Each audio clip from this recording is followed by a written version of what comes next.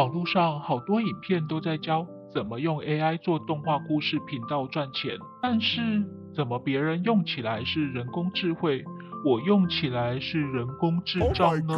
忍者妈妈听到你的需求了，我们今天就来讲如何用 AI 做出一部动画故事，还会教你如何把人工智障变成人工智能。想知道的同学千万不能错过今天的影片哦！欢迎来到忍者妈妈 AI 动画教室。我们频道主要的目的就是在学习如何使用 AI 工具，用最少的精力、时间与金钱，完成一人动画工作室的梦想。我们频道会在每周二推出一部示范作品，然后在每周五讲解这部示范作品是如何做出来的。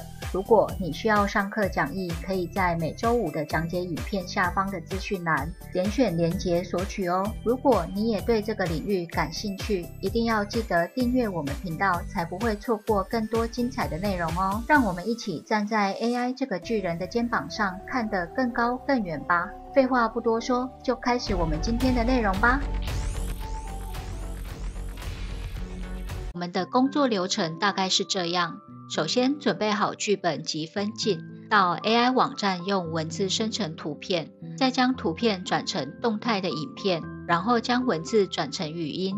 如果有角色说话的部分，准备好影片档及声音档，到口型同步的网站做匹配。全部材料都准备好之后，打开剪映做剪辑，加上背景音乐就完成喽。之前影片教过的部分会快速带过。我们这次的教学重点会放在如何使用 p i c a Labs 将图片转成影片，然后介绍一个新的口型同步工具。除了拉拉木以外，还有一个适合卡通人物使用的口型同步工具。还有，如果一直生不出我想要的影片，我可以怎么做？最后会教你一些剪辑的技巧来化解 AI 目前生成的问题。那因为这次的内容比较多，所以我们会分成上下两集。接下来，我们就一步一步的来说明。第一个，准备好自己的剧本及分镜，这部分可以用 ChatGPT 完成百分之九十，但是剩下百分之十要自己画龙点睛，你的故事才会好看，让观众猜不到剧情，或是能够调动到观众的情绪，才会是一部精彩的作品。或是只要准备故事的几个分镜架构，就可以开始喽。然后在一边做一边修改分镜细节也是可以的，不一定要完整写完剧本跟分镜才开始，只要脑中有想法就可以先执行了。为什么呢？因为当前的 AI 工具不一定能够百分之百做出你要的画面，遇到它做不出来的时候，我们还是必须改剧本，要懂得随时转弯，所以剧本可以不用一次写死。甚至是连载的作品，还可以根据观众的反应来更改后续的内容。所以，只要有基础的故事架构，就可以开始执行了。第二步，我们到 Leonardo 点 AI 这个网站，用文字生成图片。这部分在二之一、二之二的教学内容有仔细讲过，我们这边就先快速复习一下。来到 Leonardo 点 AI 这个网站，用 Google 账号登入。每日都有一百五十个免费点数可以使用，在这里输入提示词，选择想要生成的图片数量、比例、大小，想要使用的魔法功能，选择模型，再按生成就可以了。再根据它生成的结果输入负向提示词及调整参数设定，来优化后续的生成结果。那要怎么让角色生成一致呢？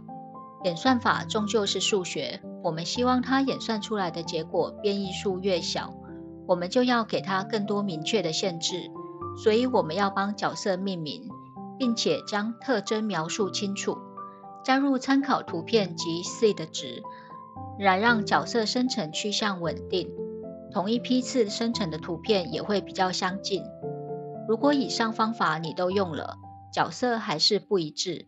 那你该回头思考，你的角色设计特征是不是不够明确？观众能记得住吗？我自己是以上方法都用了，但我也有看到别人只用角色特征描述清楚，他生成的角色就很一致，故事角色特征很明显，观众才会记得住。第三步，将图片转成动态影片。常听到的网站目前有三个。Pika Labs、Moon Valley 跟 Runway，那要选择哪一个比较好呢？大家要记得，我们使用 AI 的目的是要减少重复性的工作，让我们的工作量变少。我们就依照这个准则来选择适合的 AI 工具。我们先分为场景与人物两个部分来做测试。在只有上传图片没有任何提示词的情况下，我们来看看这些 AI 工具的表现如何。第一个场景的部分，Pika Labs 的部分，植物有微微的飘动。那 Moonvalley 的部分的话，场景很像，但东西变了，与原本的图片不符合。但是有镜头带动画面。那 Runway 呢？它的镜头向左平移的时候，光线有跟着改变，这一点是表现的还蛮不错的。第二个人物的部分，Pika Labs 的部分面部表情还不错。当然，这是在运气不错的情况下所获得的结果。那 Moonvalley 的部分的话，与原本的图片有一些差异，但是它的人物会带有表情，也有镜头带动整个画面。这三个网站 p i c a Labs 生成的速度最快，再来是 Moonvalley，Runway 的生成时间最久。Moonvalley 与 p i c a Labs 目前都是免费使用，没有额度的限制，都是在 Discord 使用。那 Runway 的部分的话，它免费的点数就有限了，所以我这次是采用 Pika Labs 为主。比较符合我的需求。如果你目前无法登入 Pika Labs，那就可以先用 Moonvalley，它有时候也可以生成一些令人惊喜的影片，像这个就是在 Moonvalley 上面生成的。首先，我们来到 Pika Labs 这个网站，它目前是在 Discord 上面使用，不过它的网页版也快要出来了，目前分批开放，大家测试使用中，应该很快就会全面开放了。那我们现在先讲在 Discord 上面使用的部分。首先来到 Discord 的网站，先申请一个 Discord 账号，Discord 可以登入网页使用，也可以下载 App 或安装在电脑上。我自己目前都是直接上网用，登录 Discord，进入 p i c a Labs，选择生成机器人。我们这次是要将图片转成动态影片，所以我们选择 Animate，上传图片，输入当初在 Leonardo 生成图片时所使用的提示词或简单的叙述动作。输入完成之后，直接按下 Enter 就可以了。机器人收到讯息之后会回复一个讯息。有收到机器人回复的讯息，才代表有传送成功。那传送成功之后呢？我们只要等它生成完成，它就会通知你。要怎么寻找我们已经生成的档案呢？在右上角信件夹这边，你就会看到提及你的讯息会在这边。那这边是包括像 Moonvalley 或是 Pica Labs 的，都可以出现在这里。所以如果你有同时使用 Moonvalley 啊，Pika Labs 这两个，甚至是 Mid Journey 的话，你都可以在这个信件夹里面找到。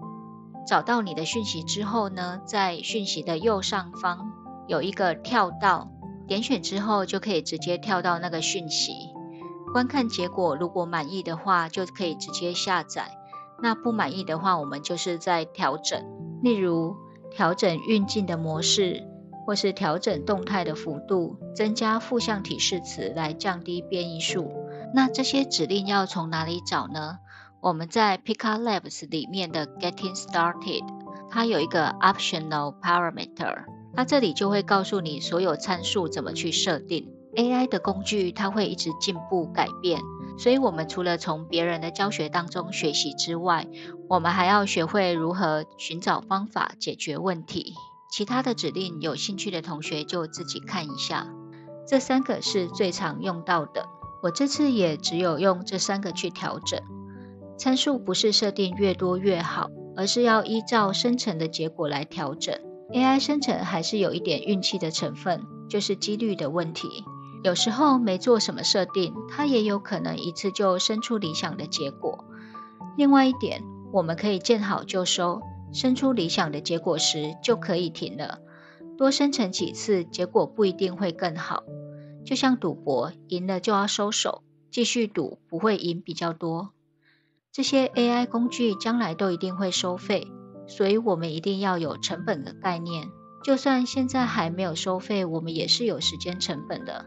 影片不用生成到百分之百完美就可以用了，为什么呢？后面我会再教你如何用一些方式来剪接或是修饰这些不完美。好，先拉回我们的主题。以我们这次的故事范例来看，场景图的部分通常一次生成就 OK，不太需要调整什么，顶多是要求运镜的方式。人物的部分呢，有第一次生成结果就很棒的，也有一半的几率会生成鬼。生成鬼的时候要怎么调整呢？增加提示词，还有负向提示词。增加提示词及负向提示词。人物有分二 D、三 D 卡通人物、动漫、拟真人，比较复杂，所以要增加提示词。再指定清楚我是卡通人物。那脸部扭曲的部分，增加负向提示词，让它不要扭曲。不希望有动作的部分，也是增加负向提示词，告诉他不要动。这一张当初也是调了很久，后来也是根据它产生的结果不断的调整，才有最后那个画面。手跟脚的部分也很容易异常，动作越大，异常越容易出现，也是透过增加负向提示词来控制。这边要提醒大家一下，不需要抄我的提示词，因为没有用。而是你要根据你给他的提示词所生成出来的结果，再根据这个结果去调整，这才是有用的方法。例如脸部扭曲，你就调整脸部；手跟脚有异常，你就调整手跟脚，这样子才是一个正确的调整方向。唯一可以参考的就是，我同样是要控制扭曲，但是形容扭曲的字词有很多个。如果你用的字词无效，那你就可以多参考别人是用哪些字词。用 AI 生成有时候就有点像在玩猜字游戏一样，你必须猜出 AI 到底认识了哪些字，哪些字是当初训练这个模型的人有 input 给他的，生成出来的结果就会如我们所预期。毕竟同一张图或是同一个动作，你跟我对它的形容一定会有所差异。这也就是为什么每次新功能发布的时候，demo 的结果都很完美，但是大家实测之后都会有点失望。毕竟 demo 的人他是比较了解这个模型当初是怎么训练的，他的叙述跟 AI 的认知也会比较一致。就像我教出来的孩子，他的价值观也会跟我比较相近，是一样的道理。好。透过这些方法，就可以把人工智障变成人工智能哦，不会再生出轨了。不知道用什么词来当负向提示词的同学，可以在下面留言哦。恭喜你又学会了一招！如果你想要继续跟着我一起学习成长，一定要记得帮我按赞、订阅，并且开启小铃铛，这样才不会错过更多精彩的内容哦。还可以点选资讯栏的链接，订阅忍者妈妈的私房秘籍，就可以不定期第一手收到忍者妈妈的私房秘籍哦。我们下次见。